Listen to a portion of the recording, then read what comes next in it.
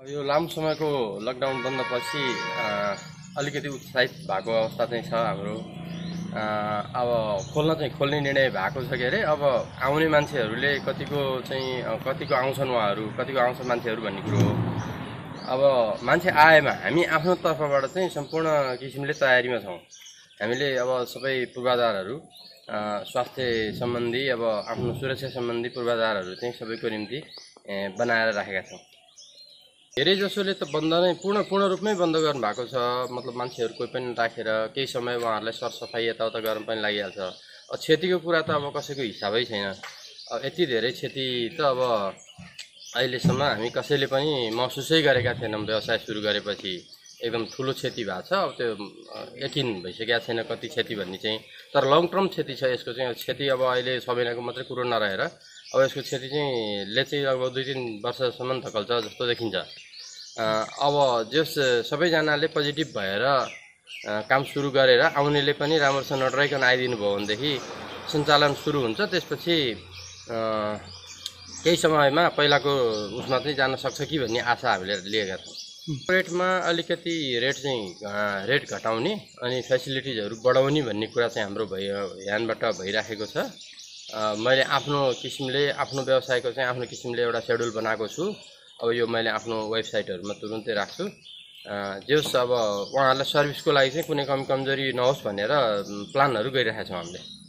Booking यस्तो छ अब यो कन्फरेन्समा चाहिँ विशेष गरी कन्फरेन्स चलाउने अब इन्टरनेसनल बुकिङहरू चाहिँ सबै क्यान्सलै छ अहिलेसम्म फेरि बुकिङ गरेका छैनन्। केही दिन पहिला मैले सबैजना सम्मेल गरेर कुरा गरेका थिएँ अब केही समयपछि फेरि हामीले चाहिँ रिबुकिङ गर्छौँ।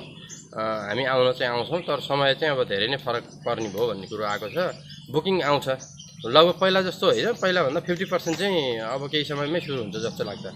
पर्यटन कोभिड नाइन्टिनको कारणले ठप्प भएको विश्व बजारकै जस्तो अवस्था छ त्यस्तै छ सौरक अवस्था पनि भनेको सुनसान छ शून्यमा छ। र आजको दिन हामी असोज एक गते कुरा गरिरहेका छौँ र आजबाट नेपाल सरकारले पनि पर्यटन क्षेत्र खुल्न पाउने भन्ने निर्णय गरेको छ। त्यो एकदमै स्वागतयोग्य छ। अब हामीले सोचेका छौँ अबका दिनहरूमा चाहिँ पर्यटकको सङ्ख्या चाहिँ बिस्तारै बढ्दै जान्छ र केही समयपछि चाहिँ हामी हाम्रो जुन अवस्था थियो पहिलाको अवस्थामा पुग्न सक्ने अवस्था रहन्छ। तर आजको दिन अ, सम्म चाहिँ हाम्रो पर्यटन शून्य नै छ। यो पर्यटन सुचारू भएपछि पर्यटकलाई आकर्षित गर्नको निम्ति केही न केही गर्नुपर्छ भन्ने सोच हामीमा आएको छ। तथापि निर्णात्मक रूपमा चाहिँ हामीले युनिकर्न सोच निकालेका छैनौँ। संयुक्त रूपमा चाहिँ यहाँका संस्थाहरू बसेर चाहिँ एउटा चाहिँ जोइन्ट प्याकेज निकाल्ने चाहिँ कुराहरू सहमतिमा पुगेको छ। जस्तो कि हामीले के गर्न सक्छौँ भने हाम्रा होटलका रुमहरूको रेटहरू केही डिस्काउन्ट दिन सक्ने रेस्टुरेन्टका मेनुहरूमा केही डिस्काउन्ट दिन सक्ने यहाँका हात्ती सफारी डुङ्गा सफारी जिप सफारी लगायतका सेवाहरूमा पनि केही छुट दिन सक्ने खालको वातावरण चाहिँ बन्ने चाहिँ कुरा एउटा चाहिँ सहमतिमा पुगेको छ। अब हामी केही समयभित्र यो अब अवस्था कस्तो रहन्छ पर्यटकको गतिविधि अथवा पर्यटकको आगमनको सङ्ख्या कस्तो रहन्छ त्यो अनुसार चाहिँ अब हामी चाँडै नै केही प्याकेज लिएर आउनेछौँ। वास्तवमा पर्यटक अ, को सेवा सुचारू भएपछि हामीले ध्यान दिनुपर्ने कुरामा चाहिँ महत्त्वपूर्ण कुरा चाहिँ पर्यटकको सुरक्षा र हाम्रा चाहिँ कामदारको सुरक्षाको निम्ति चाहिँ महत्त्वपूर्ण रहन्छ। त्यसको निम्ति अब होटल सञ्चालनको विधि पनि नेपाल सरकारको पर्यटन मन्त्रा मन्त्रालयले नेपाल पर्यटन बोर्ड मार्फत चाहिँ जारी गरिसकेको छ।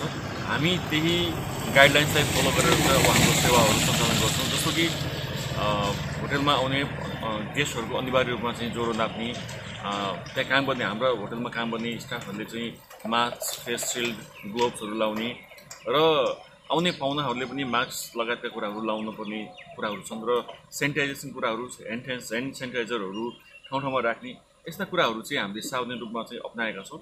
वास्तवमा अहिलेको निम्ति चाहिँ यी कुराहरू हामीले चाहिँ गर्न सक्यौँ र पर्यटकलाई पनि त्यो गर्न लाउन सक्यौँ भने पनि केही हदसम्म चाहिँ यो कोरोनाको जुन चाहिँ सर्ने एउटा चाहिँ एउटा प्रक्रिया छ त्योबाट चाहिँ हामी मुक्त हुन सक्छौँ जस्तो लाग्छ।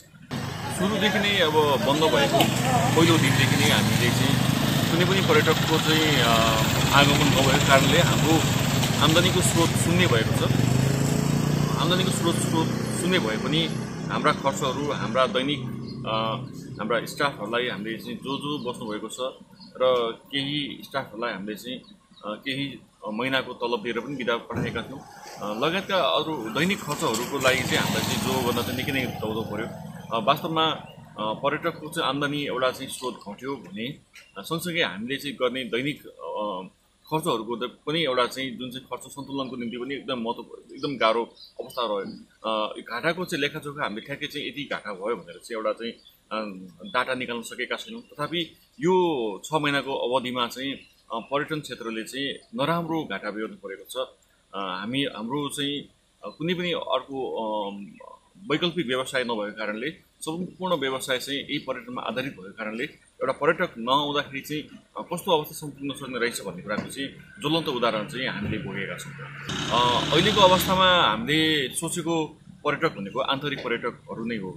हामी नेपालीहरू एक ठाउँबाट अर्को ठाउँ घुम्ने जुन चाहिँ एउटा प्रक्रिया छ त्यो प्रक्रिया चाहिँ एकदमै बढ्यो भने चाहिँ आन्तरिक पर्यटनले चाहिँ हाम्रो पर्यटन सेवा टिकाउन सक्छ भन्ने लागेको छ। र विश्व बजारमा चाहिँ कोभिड नाइन्टिनको भ्याक्सिन नआएसम्म विदेशी पर्यटकहरू नेपाल आउन सक्ने चाहिँ सम्भावना निकै नै कम छ।